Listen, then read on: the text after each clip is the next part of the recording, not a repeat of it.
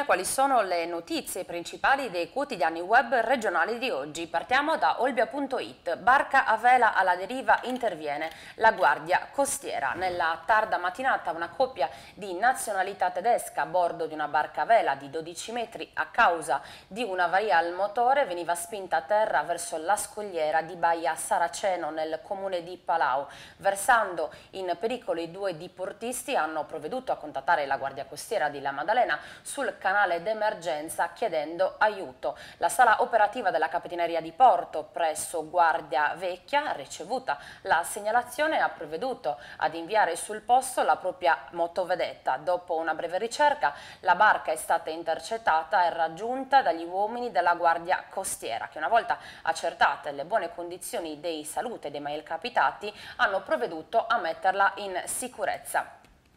Andiamo avanti con eh, Sassari Notizie, si parla di università, dell'Università di Sassari, terza in Italia tra i medi Atenei. L'Università di Sassari si conferma dunque al terzo posto assoluto in Italia nella classifica Censis Repubblica, tra gli Atenei di medie dimensioni tra 10.000 e 20.000 iscritti con 14 università alle spalle.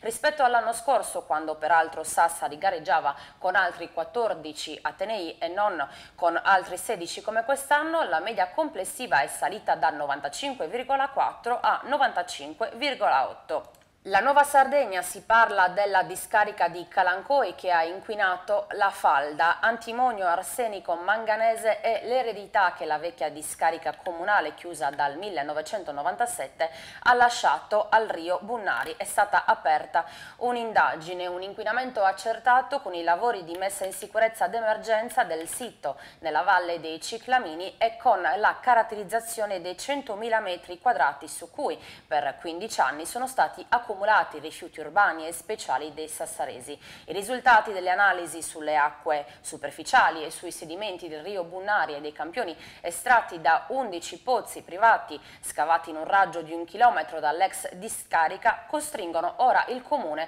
ad approfondire le indagini sulla contaminazione dell'intera zona.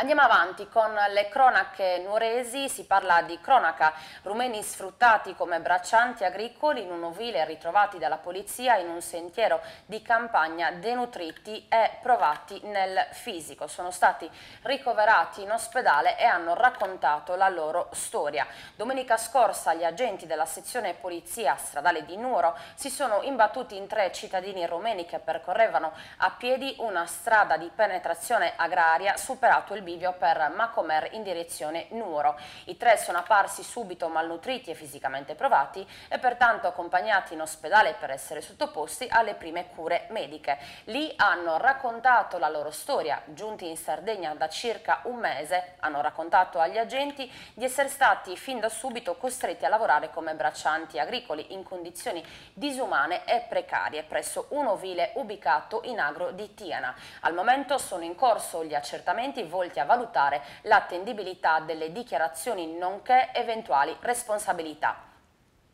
ILA Magazine si parla di sclerosi multipla e di nuove terapie. L'odierna disponibilità di innovativi principi è il segno che la scienza medica continua a interessarsi alle condizioni delle persone con questa malattia del sistema nervoso che in Sardegna sono più di 6.000 al fine di dare loro una qualità di vita uguale al resto della popolazione. In quest'ottica alcuni rimedi che vantano una consolidata esperienza d'uso sono stati riformulati soprattutto per rendere più semplice la loro assunzione. Villacidro.info, un'anziana vittima di uno scippo, è stato arrestato un pregiudicato. Anziana signora vittima di un tentato scippo, il borseggiatore è stato incastrato dalle videocamere del comune. Verso le 7 di ieri mattina, l'anziana di 79 anni si recava in chiesa quando Ignazio Collu, 53enne pregiudicato di San Luri, si è avvicinato alla vittima con la sua bicicletta strappandole la borsa. La donna è caduta per terra procurandosi ferite guaribili in 10 giorni. L'uomo è stato individuato grazie al sistema di videosorveglianza del comune di San Luri. Lo scipatore si trova ora agli arresti domiciliari in attesa del processo per direttissima che avverrà nella giornata di oggi presso il Tribunale di Cagliari. Ed ancora la provincia del Sulcis Iglesiente, Carbonia è il comune capoluogo della nuova provincia del Sud Sardegna, la cui circoscrizione territoriale corrisponde alla vecchia provincia di Cagliari, esclusi i comuni che costituiscono la città metropolitana di Cagliari. L'individuazione della città capoluogo nella nuova provincia è stata deliberata dall'amministratore dall straordinario Giorgio Sanna con i poteri del Consiglio provinciale in adesione agli indirizzi servizi forniti dall'assessore regionale degli enti locali, finanze ed urbanistica.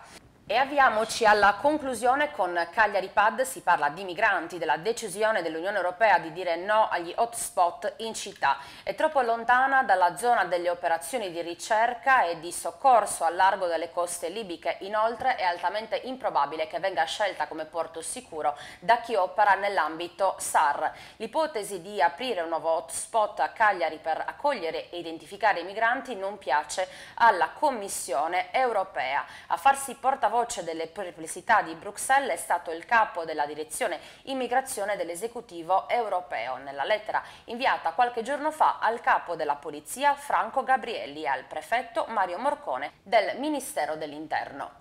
Con questo è tutto, grazie per l'ascolto e buona giornata.